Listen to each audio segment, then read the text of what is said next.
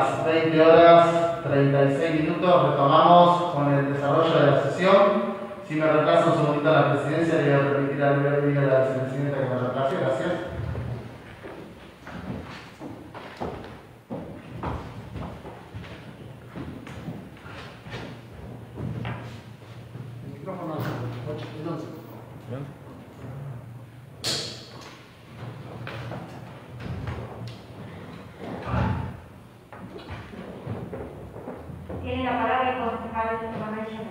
Gracias, señora presidenta. Eh, bueno, eh, sí voy a pedir, eh, voy a acompañar la palabra del concejal Fabián yo, así que después que quiero hacer una moción que por secretaría se corrija el artículo 1, que, que quede, que establezca como objeto de la presente ordenanza la regulación referida a la instalación, funcionamiento de servicios crematorios de cadáveres y restos humanos del partido de Carlos Casares. si lo puedo poner en votación. Hay una moción de concejal. ¿Usted por la afirmativa va su voto, por favor? Está aprobado por unanimidad. Muy bien, corregido ese, esa diferencia. Algunas cuestiones que bueno que también ya las hizo mención el concejal Serra en cuanto a la textualización de, de, poner en contexto de cómo viene este, este proyecto, que es cierto, arranca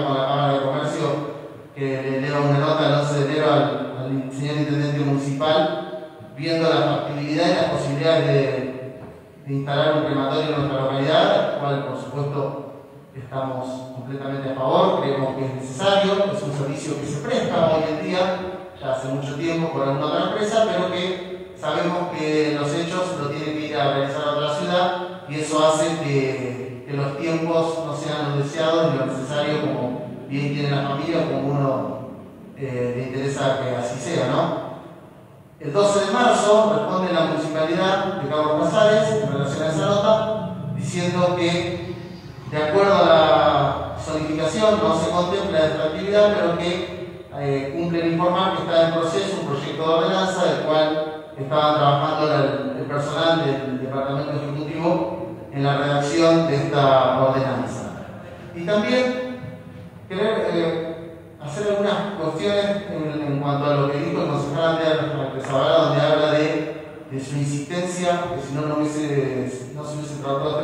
eso no es cierto.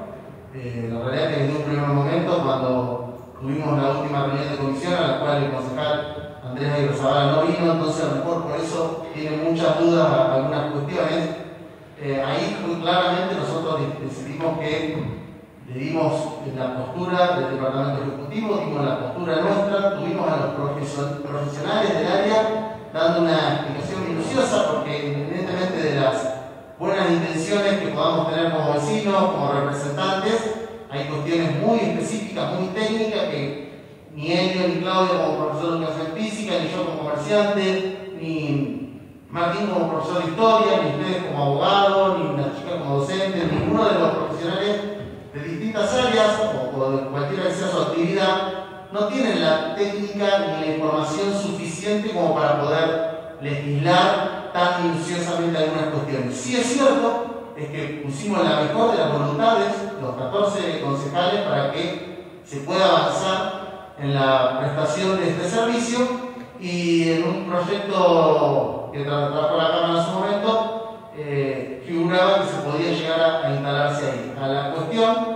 que cuando eh, presentamos al Departamento Ejecutivo este proyecto de ordenanza, el Departamento Ejecutivo, inclusive las profesionales del área, lo tuvimos el jueves pasado, como todos saben, pero el jueves pasado tuvimos una reunión con los profesionales del área, que es Fabiana Durán y Josefina Fernández, donde dieron eh, las especificaciones técnicas de por qué no, de por qué en cuanto a la planificación de Carlos Casares para esa zona, en cuanto a cuestiones más técnicas, minuciosas, que todos los que vinieron a la comisión lo pudieron hablar, inclusive, lamentablemente, hoy se encuentra ausente el concejal José Luis Romagnoli, que eh, afirmativamente estaba a favor de todas las posturas en cuales decían las profesionales, inclusive hubo un debate, inclusive, inclusive, por favor.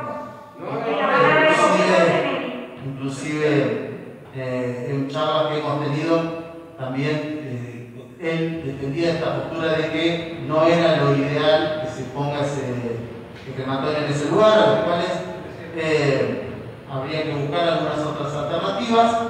En relación a eso, vuelvo a retirar, a, repetir. Tenemos la mejor de las voluntades.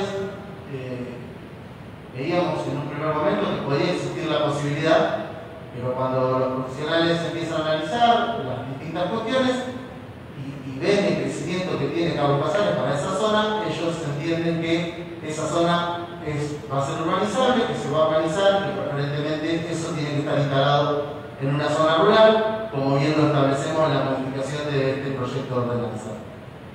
Eh, creemos que también es cierto que tenemos la posibilidad de estar en poco cero, hay cosas que, hay muchas cosas que a lo mejor hoy están establecidas y que no están bien, como la instalación en nuestra localidad de desde distribuidora, desde corralones, desde planta de silos, que no, se, no fueron, puestas, fueron puestas en momentos donde no hubo una planificación y hoy quedaron en el medio del pueblo pues, distintas cuestiones que no corresponderían. Entonces la realidad es que tenemos la posibilidad de legislar para que esto no suceda, para evitar este tipo de cosas que se pueden instalar en algún otro momento y por eso siempre fue claro el Departamento Ejecutivo, por eso le contestó las distintas notas al, cuando, cuando me refiero a cuando el consejero Andrés habla de señales claras.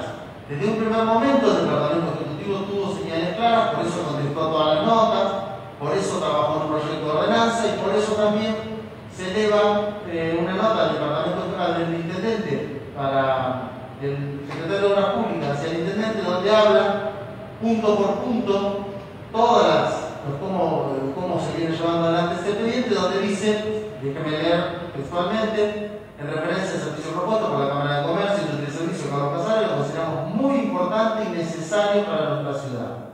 Punto 2. Respecto, respecto, a su instalación, este municipio no tiene instrumento técnico jurídico que regule dicha actividad, por lo tanto, en primer paso se debería dar la promulgación de una ordenanza. Artículo 3. Respecto al proyecto de ordenanza elaborado por el Departamento Ejecutivo, esta Secretaría comparte todos sus términos y no tiene objeciones en cuanto al proyecto que elevó el Departamento Ejecutivo para que nosotros podamos ir trabajando. Y después también habla de cabe recordar que el día pasado, mediante la ordenanza número 4102, fecha 28 de agosto, promulgada mediante el decreto 1044, eh, el municipio afectó un área residencial urbana a las parcelas linderas, donde ahí habla de donde hay una clara planificación de urbanización en toda esa zona y creemos que lo más conveniente es que este tipo de iniciativas, independientemente de quién las, traiga, se tengan que ubicar en una zona rural. Esa es nuestra postura, creemos que, estamos convencidos de esto, que en un primer momento, reconozco todo el trabajo que venimos haciendo, que hicimos y que tuvimos la mejor de las buenas voluntades, pero claramente los profesionales del área lo dijeron acá en una comisión hace siete días, fueron claros, fueron específicos y por eso entendemos que eh, vamos a trabajar en esta ordenanza, vamos a avanzar en la ordenanza en general de lo que es donde habla todas las cuestiones específicas de la instalación de crematorio y por eso votamos a votar un punto de la solicitación eh, donde habla de dónde se tiene que instalar. Nada más, muchísimas gracias, señora Presidenta. Tiene la palabra el concejal de Gracias, señora Presidenta. ¿Se dan cuenta de la locura que están por votar? O sea, el fundamento de la no factibilidad del 12 de marzo de la negativa es un proyecto de ordenanza que este cuerpo toma conocimiento ahora. ¿Se dan cuenta de la locura que están planteando? Los fundamentos de la no factibilidad, de la no factibilidad, de la negativa, es un proyecto de ordenanza.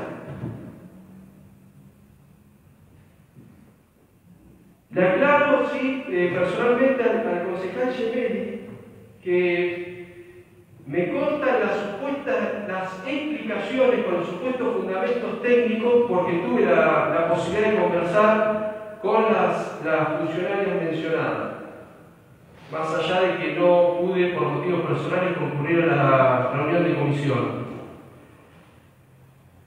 Y la verdad que no, no existe explicación. Se están, negaron, impiden, obstaculizan por un capricho, por una apreciación. Señores, son funcionarios públicos, tienen que atenerse a la ley. La ley no lo prohíbe en la zona C3. Pero aparte otra cuestión que me pregunto, o sea, si el 12 de marzo la tenían tan clara de que no era factible, ¿para qué avanzamos en, el, tratamiento específico de la iniciativa? A requerimiento de la presidencia de este cuerpo. Porque yo imagino que en la, cabeza de muchos de los integrantes de la Cámara de Comercio se deben estar preguntando, ¿para qué nos pidió el cuerpo una reunión? Porque no es que la pidió la institución, la pedimos nosotros como cuerpo. La nota, la nota, perdón, la nota, la nota por el cual se fija la reunión, hace mención la tenemos la copia, por expreso pedido de la presidencia del cuerpo y agradeciendo la buena predisposición y, la predisposición del cuerpo. La pregunta que yo me hago es, ¿para qué avanzamos en el análisis de esa iniciativa y por qué no se nos mostró en ese momento este proyecto de ordenanza que estaba elaborando el, Poder Ejecutivo? ¿O estaba elaborando un proyecto de ordenanza a medida de otras cosas o de otros intereses? Esa es la pregunta que, que planteamos acá. Es una locura que el fundamento, la no factibilidad, la negativa, haya sido un proyecto de ordenanza. Señores, nosotros somos responsables de sancionar normas. La norma nos permite hacer tal cosa o tal otra. No existe norma que prohíba en la zona C3 denominada C3 que prohíba el servicio de cremación. Y que no exista ordenanza no significa que esté prohibido. La verdad que esto es muy grave. Más allá de que hoy sea esta, esta temática, el servicio de cremación, es muy grave que el Poder Ejecutivo se maneje por capricho, por subjetividades, sin apegarse a lo que la norma permite o no permite. No existe norma, no es mentira que existe un vacío legal, no existe norma que prohíba la instalación del servicio de cremación en la zona C3. Y acá están las claras las vidas y vueltas que tuvimos. Reuniones de comisión, analizando la iniciativa traída por la Cámara. Reuniones con la institución. En ningún momento se mencionó la existencia de un proyecto de ordenanza distinto. En ningún momento se mencionó el proyecto y se nos puso a disposición un proyecto de ordenanza del Ejecutivo. Es muy grave lo que va a pasar con esta votación. Más allá de que hoy sea el servicio de cremación, es muy grave que el Poder Ejecutivo se maneje de esta forma. Insisto, el fundamento de la negativa parece ser que es un proyecto de ordenanza. La verdad que habla muy mal es desconocer la naturaleza de este cuerpo. ¿Para qué venimos acá? Para debatir normas. Si el Ejecutivo se va a manejar de otra forma, implica que está desconociendo, está desconociendo la naturaleza de este cuerpo y la función primordial de este cuerpo, que es fijar normas. Hoy, y quiero que quede claro para toda la sociedad de Carlos Casares y sobre todo para la Cámara de Comercio, hoy el Poder Ejecutivo está decidiendo en base a una subjetividad. En un Estado de Derecho, hoy el Ejecutivo está tomando una decisión en base a una norma que no existe. Le dijeron a la Cámara de Comercio que no van a poder instalar ahí el servicio, se lo dijeron el 12 de marzo, sin embargo seguimos trabajando sobre esa iniciativa. Y el fundamento es que existe un proyecto, un proyecto de ordenanza, es una locura. Es una locura que el Ejecutivo se maneje de esta manera. Por eso nosotros pedimos el tratamiento en particular sobre todo del artículo 4, que es el que habla de la zonificación. No existe motivo, fundamento alguno por el cual hoy un crematorio no se pueda instalar en la zona C3. Gracias por ahora, señor presidente.